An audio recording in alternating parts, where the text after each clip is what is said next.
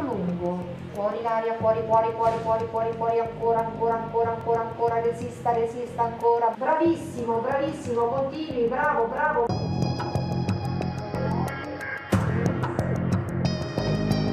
Facciamo un po' di tutto, partendo dalle analisi del sangue, l'elettrocardiogramma, quindi la TAC del torace, l'ecocardiogramma. Facciamo i test di performance respiratoria, quindi spirometria, test del cammino, emogas analisi e poi le visite specialistiche con pneumologo, neurologo.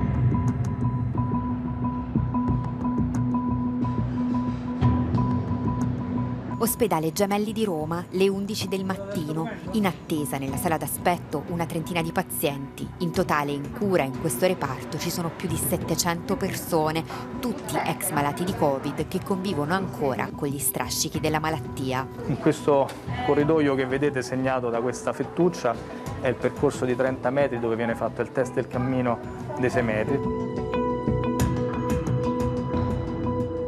Frequenza cardiaca a fine test è un po' accelerata e risulta a 135. Quindi adesso ci riposeremo un attimo. Le problematiche che noi abbiamo visto purtroppo sono ancora importanti. Circa l'80% di persone presenta ancora qualche sintomo persistente a distanza di 2-3 mesi. Il sintomo più comune è quello che si chiama in termini tecnici la fatica, cioè la stanchezza.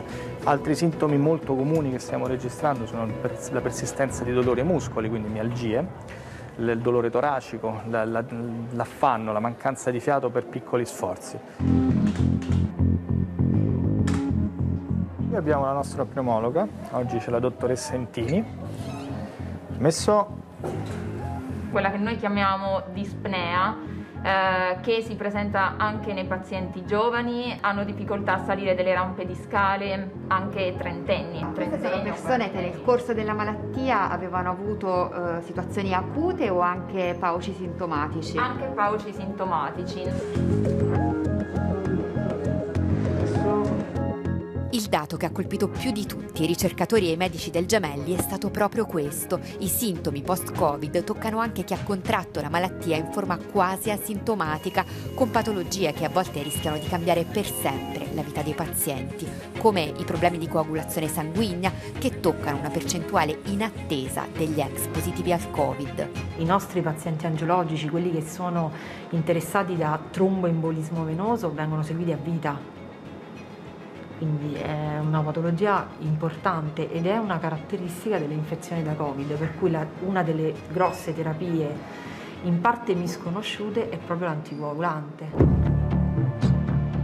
L'altro dato che ricorre spessissimo è legato invece ai problemi gastrointestinali. I pazienti mi riferiscono in modo veramente molto frequente pirosi, quindi sostanzialmente una condizione di bruciore eh, retrosternale, soprattutto in realtà le dico nei pazienti eh, under 50. A distanza di quanto tempo dalla allora, scoperta della malattia? A distanza anche di 3-4 mesi, quindi è qualcosa che rimane molto più di tutto il resto.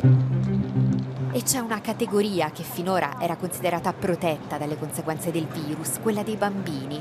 Al Gemelli, il primo studio scientifico sul post-Covid che li riguarda, ha preso in esame un gruppo di 130 persone, scoprendo che anche a distanza di mesi dall'infezione, in un'alta percentuale di casi, i sintomi, anche in età pediatrica, continuano. Congiuntivite, dalla cefalea, dolore addominali, la diarrea, dolore toracico o senso di costrizione alla respirazione che possono persistere dopo un quadro sintomatico o possono comparire anche in soggetti che hanno contratto l'infezione senza avere in fase acuta alcun sintomo. Questo gruppo cui lei eh, faceva cenno, che è di circa 130 bambini, oltre la metà, poco oltre la metà, hanno avuto un'infezione asintomatica. Fronteggiare l'ondata dei pazienti con sintomi da post-Covid sarà di fatto la sfida dei prossimi mesi. Reparti come questo, in cui si fonde la ricerca scientifica con la cura, sono al momento l'unico appiglio per chi è ancora sintomatico. Molti di questi medici lavorano su base volontaria, oltre il loro orario di lavoro, ma la richiesta di pazienti di accedere al reparto supera enormemente la capacità di accoglierli. Al momento l'unico canale per essere presi in carico è una mail a cui ci scrivono costantemente da tutta Italia e abbiamo più di 700 mail in attesa di, di essere evase per poter dare una risposta. Purtroppo sopra una certa soglia con questa struttura e con questo organico non possiamo andare. In cura nel reparto post-Covid del Gemelli di Roma c'è anche Marta Esperti, 32 anni, che si trascina i sintomi ormai da 11 mesi. Camminare, fare qualunque tipo di attività, si sente che già ecco, un po' di, un po' di fiato corto, anche per pochissimi passi ci sta. Fino all'anno scorso Marta viveva in Francia dove insegna scienze politiche in due università. Si ammala a marzo a Parigi quando la città è nel pieno della prima ondata. Era il 12 marzo che ho fatto questa visita in cui la diagnosi di Covid è stata fatta sulla base dei sintomi clinici senza una, una, diagnosi tramite tampone appunto perché era l'indicazione in quel momento, in quel non momento, bisognava sprecarli. In quel momento non, è, non vi erano abbastanza tamponi. Dopo mesi di febbre e dolori chiede al consolato italiano di aiutarla a rientrare in Italia, ma una volta a casa la sua condizione si complica ancora. C'erano dei, dei valori nel sangue che indicavano un possibile, una possibile infiammazione del cuore. La tachicardia, questo battito del cuore accelerato è rimasto, è rimasto e per cui si sono ritenuti opportuni dei, degli esami specialistici più approfonditi che devo ancora fare. Nel frattempo però oh, prendo un farmaco per il cuore. Ed in attesa di capire le cure giuste per una malattia di cui si conosce ancora pochissimo, Marta in questi mesi si è messa a raccogliere le storie di migliaia di pazienti come lei, diventando una delle promotrici di un'iniziativa internazionale che punta al riconoscimento della malattia da long Covid. È attraverso l'Organizzazione Mondiale per la Sanità che abbiamo lavorato dal 21 agosto 2020 sempre per poter definire cosa è il long Covid, per poter aggiornare le sue guidelines. L'obiettivo L'obiettivo è quello di far rientrare le guidelines, le linee guida, in una proposta di legge che riconosca legalmente la malattia, come sta avvenendo in altri paesi europei, consentendo così cure gratuite per i malati e garantendoli anche sul piano lavorativo per le tante assenze che una malattia cronica comporta. Parliamo di decine di migliaia di pazienti in tutta Italia. La maggiore concentrazione è nell'area travolta dalla prima ondata, la Lombardia. Su questi pazienti lo studio più aggiornato è dell'ospedale di Bergamo, dove stando ai dati un paziente su due ha ancora sintomi dopo tre mesi e mezzo. C'è una quota di persone che potrebbe aver bisogno di più tempo, forse di molto tempo, e qualcuno potrebbe avere una condizione poi di lunga durata, cronica. Quindi questo è ancora da capire. Lo studio dell'ospedale di Bergamo al momento prende in esame solo i pazienti ospedalizzati, quelli che sono stati curati a casa per adesso devono rivolgersi altrove. Simona, dopo quasi un anno dai primi sintomi, ancora non è riuscita a vincere la malattia. Io ho 38 anni, non, non, ho, non ne ho 80, quindi sono andata sempre privatamente e l'ultima visita l'ho fatta il mese scorso e adesso mi ha dato da fare un test del cammino che so che fanno a, a questi malati di long covid.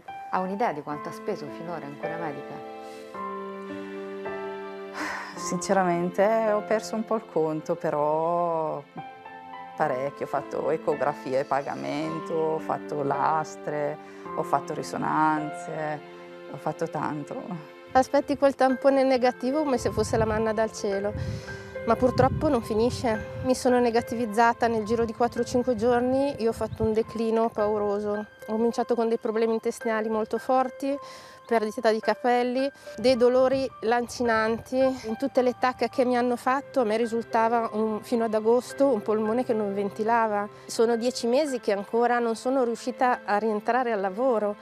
Laura è un'operatrice sociosanitaria in una residenza per anziani. Il suo lavoro è a strettissimo contatto con gli ospiti. Come farà adesso col suo lavoro? Non lo so, è un'incognita. Purtroppo è un'incognita. Io fino a settembre sono stata in infortunio, mi ha riconosciuto l'infortunio, ma da settembre io sono in malattia. E quanto posso stare ancora in malattia? Lavori una settimana, magari due, ce la fai e poi ti devi fermare perché proprio già arrivi a sera, già al secondo giorno di lavoro, non ce la fai proprio fisicamente. Lei che lavoro fa?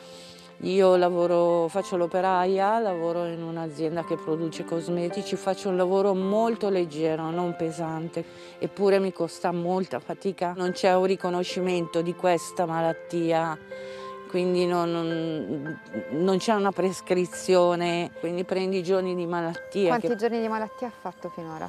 Nel 2020 ho superato i 180 giorni. Vuol dire che quando arrivi al limite massimo di assenze per malattia, l'azienda ti può licenziare. Sono previsti licenziamenti nella sua azienda?